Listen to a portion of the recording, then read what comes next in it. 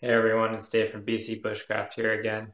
And uh, today's video, I'm just going to be doing another knife. Um, I've decided that I found an old steak knife lying around and, you know, I'm kind of bored and I figured why not? I might uh, give, try my hand at uh, turning this kind of old, busted up looking steak knife and make it into kind of a fun little, you know, neck knife, nothing special, but we're going to make it sharp. And we're going to reshape it and sand down the handle and make it look a little nicer than what it is. So uh, stay tuned. I thought I'd show you more of the process of kind of how I do things. So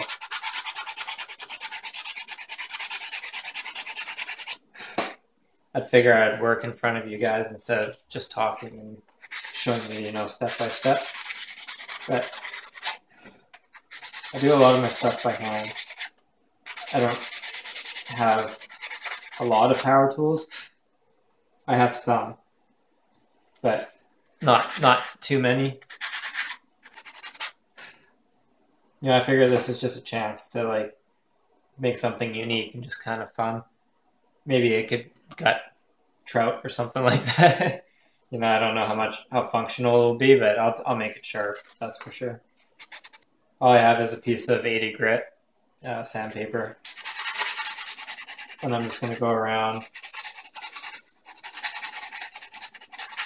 sand it down, kind of see what is under all of this. You can kind of see it's bringing some color back into the handle a bit. So I finished sanding this thing down to what I wanted to, you know, I didn't get too crazy with it.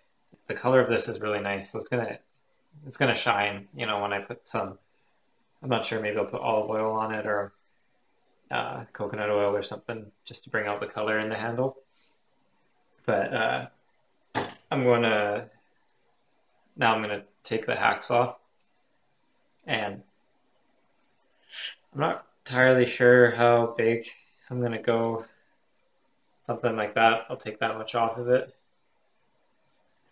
The vice setup I use is not bolted in. I know it's not exactly the the best way to do this, but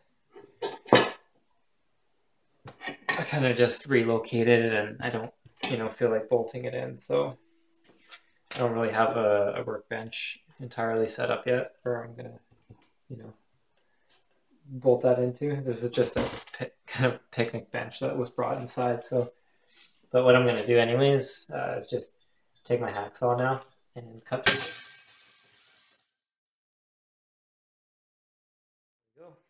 So I actually found the original one that uh, my fiance's granddad had made.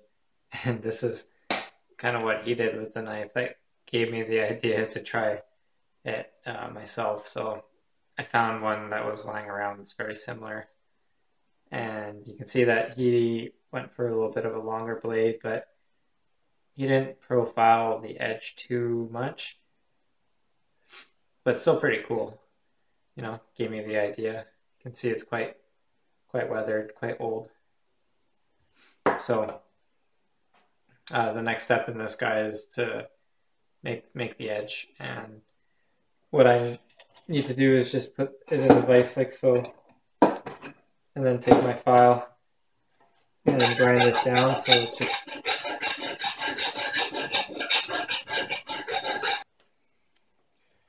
uh, see what I'm going for.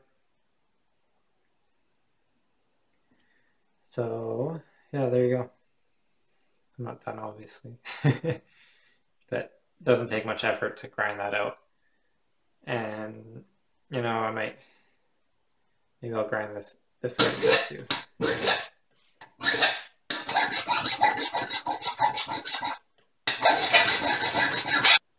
So that's kind of what I'm looking at right now.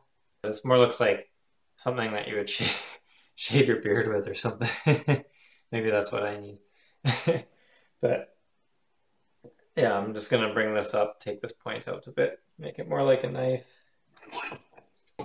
And obviously, this knife's not gonna be that strong. It, you know, it's just it's a steak knife, right? So, but it's it's just fun to do these things and kind of practice and learn certain you know different skills. You know, more looking like a knife. getting the general shape. Sometimes I actually just don't even use the vise. And I just shape it like this to get more of a belly. Okay, so now I have more of the shape that I want with this knife.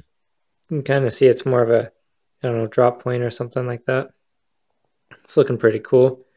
So all I'm going to be trying to do now is uh, putting an edge onto it you know, cleaning it up, cleaning up these, I think these, it's rust on here, honestly, even though it's stainless steel. So all I really do when I'm putting an edge on something like this is I just start off with a file and I kind of just start my, you know,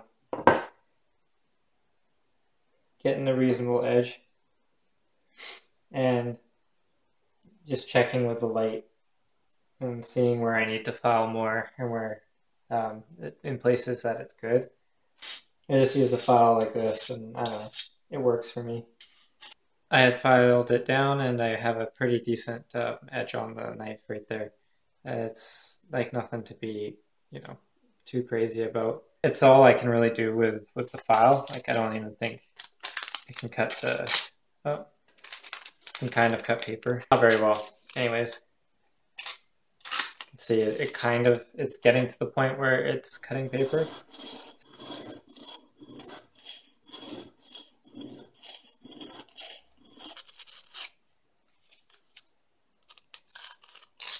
Okay, so we're starting, starting to cut paper a little bit.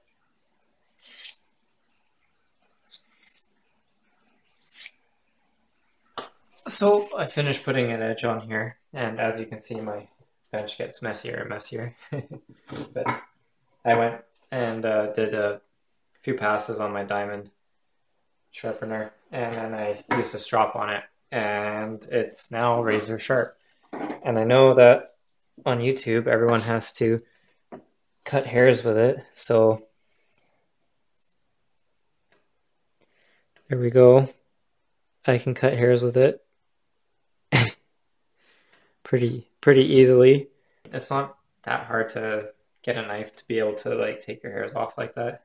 It's basically when you strop it, that's when you get, you know, that razor edge type of thing. And I just thought of something that maybe I'll put a spine on here to see if it can throw sparks. Because we all know that if you have a bushcraft knife, has to throw sparks on its spine, right? So there's a lot better ways to file that instead of just holding it. but let's test this out. I'll bring you over to my... I have most of my stuff in my bag at the moment. So, uh, not that pocket. Here we go. My ferro rod test this out. Fatwood that I have found. Huge chunk of it.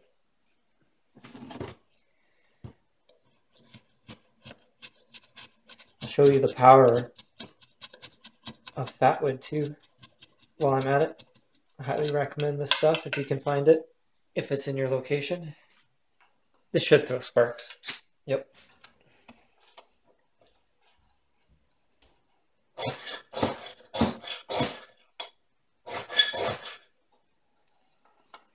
Ta-da!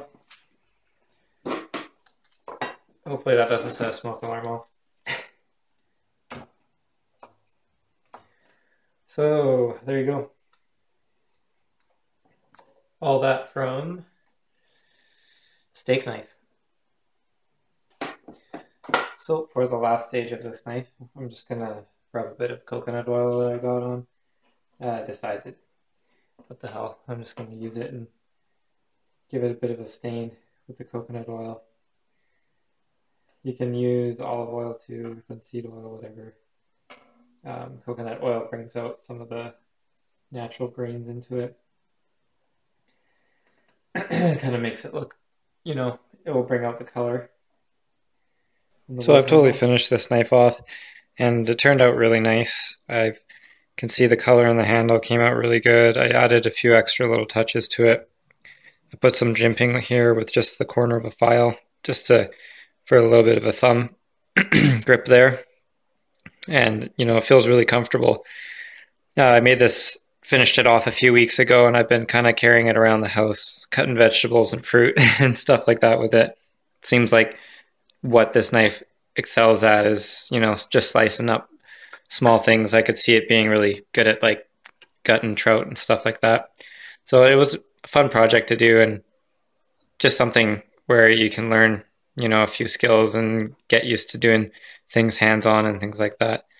And I also added this little uh, sheath that it's half of a old sheath. It's just like a plastic sheath for a, a, knife that I used to have. And I made a slit. I tried to make a slit for a belt, but I ended up just putting this this kind of ring on it that you can clip and unclip. And I can clip this onto my belt or onto my bag or onto anywhere that I uh, choose to. And the knife just kind of slides in here.